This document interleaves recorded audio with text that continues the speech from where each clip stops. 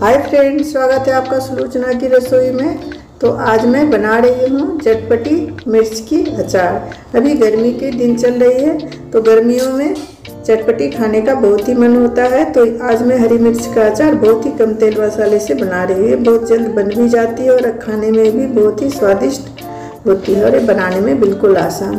तो ये 250 ग्राम मिर्ची मेरा धो के अच्छे से मैंने एक घंटे के लिए धूप में रख दिया था और ये अब मैं इसे ले आई हूँ अंदर और इसको मैं सारा मिर्च को डंटल निकाल लेती हूँ। सारे मिर्च का जब डंटल निकल जाएगा इस तरह से देखिए, इस तरह से निकाल के रख लेना है और मिर्च हमेशा आप एकदम फ्रेश लीजिए। इस तरह गला नहीं होना चाहिए। तो ये देखिए, मेरा सारा मिर्च मैंने डंटल तोड़ के रख लिया एक बर्तन में। अब मैं इसे बीच से चीरा लगा के दो भागों में काट लूँगी। देखिए बीच से मैं इस तरह से चीरा लगा के लंबा लंबा मैं दो भाग में काट लूँगी मिर्ची मेरी थोड़ी मोटी और छोटी वाली है। आप चाहे तो लंबी वाली भी ले सकते हैं। तो ये थोड़ा मेरा अलग टाइप का है। तो इस तरह से देखिए, इस तरह मैं काट लेती हूँ। कोई भी मिर्च का अचार बनाइए, ये बहुत ही स्वादिष्ट बनती है। तो इस तरह से मेरा सारा मिर्च भी मैं देखिए काट ली और चलती हूँ मसाले। मैं ये दो चम्मच में राय ली हूँ। ये महीन वाली राय है और आधा चम्मच कलौजी है मेरा। काश्मीरी मिर्च पाउडर डेढ़ चम्मच है हल्दी पाउडर एक चम्मच है सौंफ एक बड़ी चम्मच नमक एक बड़ी चम्मच तो पहले मैं ये राई को और सौंफ को सिलबट्टे पे पीस लूँगी तो चलिए ये मेरा मैं पीस के तैयार कर ली हूँ अब मैं चलती हूँ अगले प्रोसेस में तो मिर्च को मैं एक शीशे के बर्तन में डाल देती हूँ हमेशा अचार को आप शीशे के बर्तन में बनाएँ ये अच्छी बनती है और ये मैं नमक डाल दी हूँ। अब मैं इसमें डाल देती हूँ हल्दी। और ये मेरा राई का पाउडर मैं देखिए सिलबट्टे पे तैयार करके रखी हूँ, ये वाला देखिए। ये थोड़ा दरदरा ही, दीजिए इसमें अच्छा बनता है ये। सौंफ का पाउडर भी मैं एक चम्मच पीसी हूँ, एक बड़ी चम्मच है। तो ये भी मैं थोड़ा सा दरदरा मोटा ही पीसी हूँ। काश्मीरी मिर्च पाउडर मेरा डेढ़ चम्मच है।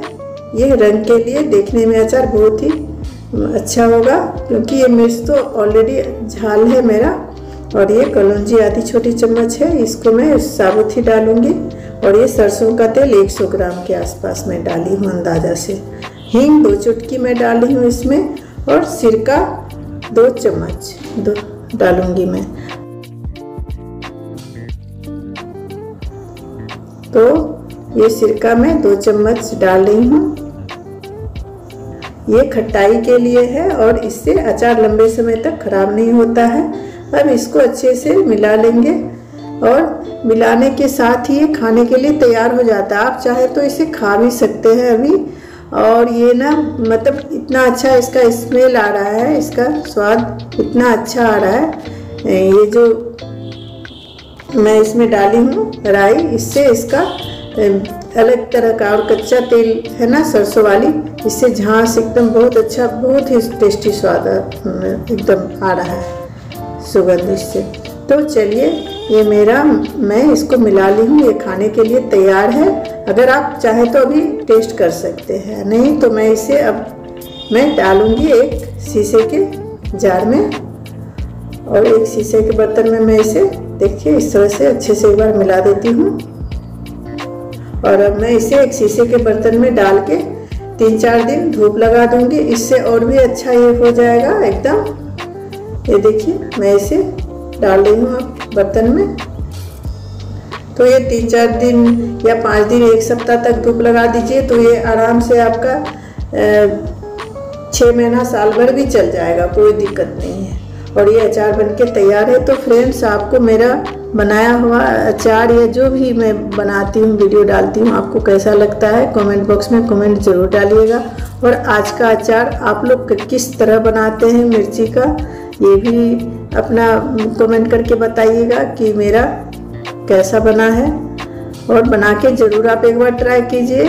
और देखने के लिए thank you friends love you all तो अब मैं इसमें सूती कपड़े को ढक के और इसमें मैं रबड़ लगा दूँगी ताकि इससे ना इसका पसीना ये बन के वापस से उसमें नहीं जाए। हमेशा आप ये सूती कपड़ा ही यूज़ कीजिएगा। ढक्कन तो बंद कभी मत कीजिएगा, नहीं तो अचार खराब होने का डर रहता है हमेशा बना हुआ।